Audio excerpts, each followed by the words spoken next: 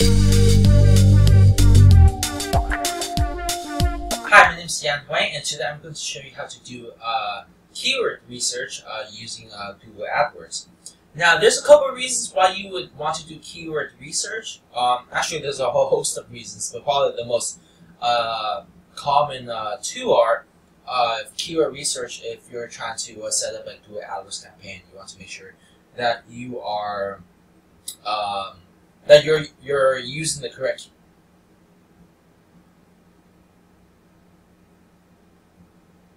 Hi, my name is Yan Huang, and today I'm going to show you how to do keyword research using the uh, using the Google uh, uh, AdWords uh, keyword planner tool. So there are a couple of re actually there are a whole host of reasons why people do keyword research, but the two primary ones are uh, if you're uh, setting up a Google AdWords campaign, you want to make sure that as far as you're, you're targeting with the keywords that you you're using the, the keywords that's going to lend to you converting um, prospective customers over, and the other is uh, if you're doing um, is uh, for uh, SEO purposes. You want to make sure that you're optimizing for the keywords that get the highest search volumes, and also you're gonna get the competition levels and so forth. So, um, what you want to do is a you have to have a Google AdWords account, which is free to uh, to sign up. Once you have it signed up, you want to log into your dashboard, go to Tools, and then go to the Keyword Planner.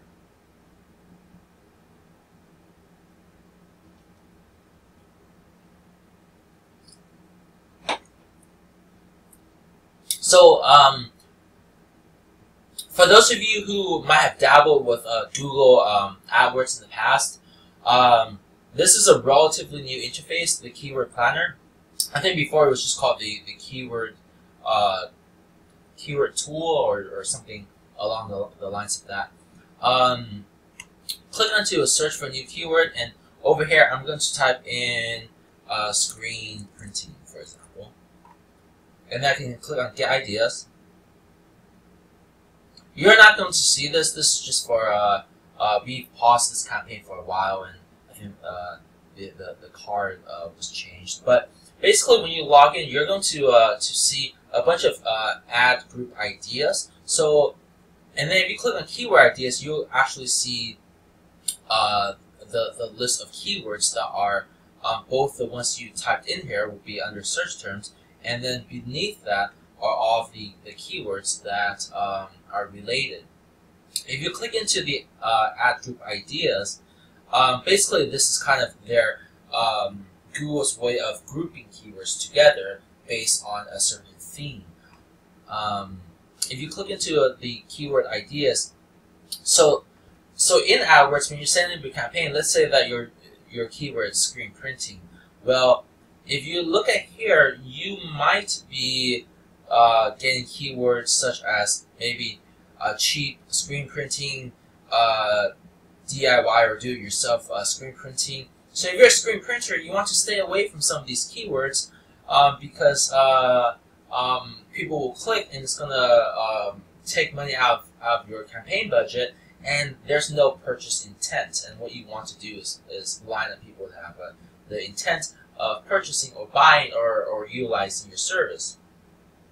Um, you can uh, also uh, one of the things you can do is is um, that's really neat is if so let's say that you have all these keywords here you can actually click onto download and you can download uh, Excel CSV and basically it limits it to uh, 800 uh, keywords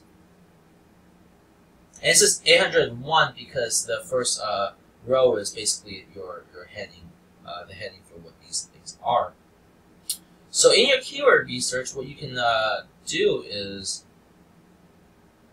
um, you can select all, and then you go to, I believe it's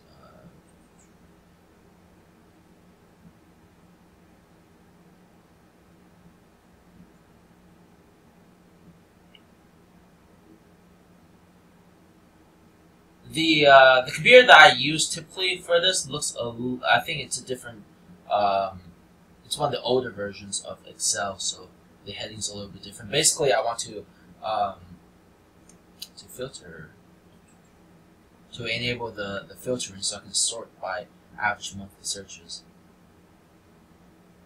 Here you go.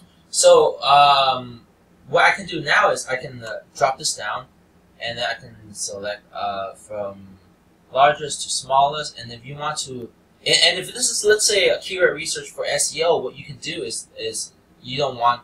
I mean, you basically want uh, keywords with a significant amount of search volume, so you can um, even do something along the lines of you want the average monthly searches to be greater than 200, and that'll basically uh, shorten your, your, your list. So if you're doing uh, if you're you do keyword research mainly for AdWords, it doesn't really matter in that sense because you can have just load up a ton of keywords even if they have low search uh, volume if they have a high search intent. That's all that, that really matters. But if you're doing SEO, it really doesn't matter. I mean, it, it it would make a lot more sense if you're optimizing keywords that actually have uh, a significant amount of uh, search volume. Um, so basically, this tool allows you to to to uh, or Excel within Excel you can filter through the average uh, monthly searches and the average monthly searches. This is an estimated figure, and also from month to month. Generally, some of these keywords searches may change, and, and you'll see that if let's say uh, you search for a keyword uh, and then you know two three months later you search again. You know, hey, how come the uh, average monthly searches have changed? Uh, the reason is because they, they, they do Google does update this. And let's say that if you want to filter how much you're paying for certain keywords, here's the thing with with that though. Let's say that a keyword is a dollar uh, or or fifty cents or, uh, or or something relatively low, but may, they may not have that high of a purchase intent. So it makes a lot. It makes more sense to uh, bid on keyword at at uh, nine dollars if the keyword is let's say um, uh, purchase bulk T-shirts. That's a lot more targeted uh, than free T-shirt ideas, uh, which have virtually no purchase intent behind. Even though one keyword bid uh, maybe like nine dollars, and the other maybe um, twenty cents. So that's something to keep in mind. So when you're uh, so don't look at it from just the face value of hey, here's the the, the bid amounts, and I want to get as many clicks as possible within uh, uh you know within your your budget. You want to make sure that when you're running these campaigns that uh, you are taking purchase intent into consideration. And when you do, uh, when you are running your uh, campaigns, generally, what what I do is I'll load up the ones uh, that that have purchase intent, but I'll set up as uh, broad keywords, and then once I actually see the conversions go in, I can then create another campaign in AdWords and set that as exact match, and then slowly um, move all those keywords from the broad campaign into the exact match uh, campaign. Uh, and what that will do is basically it will, eliminate a lot of the excess spending. But you want to do the, the broad campaign in the beginning so you can get uh, get as much data as possible to uh, to to work with. Uh, now, if you're doing SEO keyword research, another thing you can do is if I type in screen printer. I have it set here so it displays 100 per page. I'm going to open the incognito window and search for it.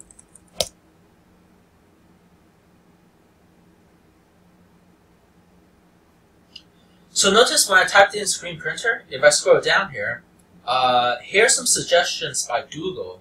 Um, what what I can do is I can load these into uh, the AdWords tool by clicking onto copy, switch over here, and then I can uh, just paste it into here, and then I can get ideas. So I can find out what the average monthly search volume is for these set of keywords that are suggested uh, by Google on their uh, um, search uh, on, on the related searches based on that keyword that they display um, on their search engine's results page. So if I go back to here, I uh, yeah I get some pretty a pretty good idea of hey, um, yeah these keywords have high search volume. So if let's say you're a screen printing uh, manufacturer or you sell screen printing material, uh, um, such as uh, inks or Plastisol or or uh, uh, silk screens or or so forth, then these might be really good keywords to do SEO uh, for. Um, if you're doing AdWords, then keywords that you probably want to eliminate is screen printer Amazon because they might just be looking to purchase a home screen, uh, screen printing kit from Amazon. And you notice that the uh, the the suggested bid here is super super low. That's because people generally the ones that really really, really low uh, low uh, bids or CPCs or um, cost per clicks, um, people have probably tried those keywords and they don't make money from it, or people just you know, I mean just at a glance, I don't have to uh, to try it to to figure out that you know there's no search intent unless you're a uh, unless you're an Amazon affiliate and you have a page dedicated to uh, to sell the screen printing uh, um, material. So hopefully this gives you a pretty good idea of how to do uh, keyword research. Now there are tons, tons of, of additional tools out there, uh, such as Scrapebox and uh, um, there's a couple more, uh, but I uh, don't remember the name off the, the top of my head. I have it on the other computer. But um, hopefully this gives you a pretty good idea, and if you found this video helpful, uh, like this video, subscribe to my YouTube channel. Uh, also, if you need help managing your uh, AdWords campaign, uh, I am pretty selective about uh, what clients I take on, but if it's a good match, uh, I'd be more than happy to discuss further. Also, if you're looking to increase visibility, exposure, and traffic to your website, um, this is this is my business, Press Release Jet. It's the only press release distribution service that uh, provides guaranteed placement across 350 plus media sites, including ABC, NBC, Fox, CW, and, and many, many more.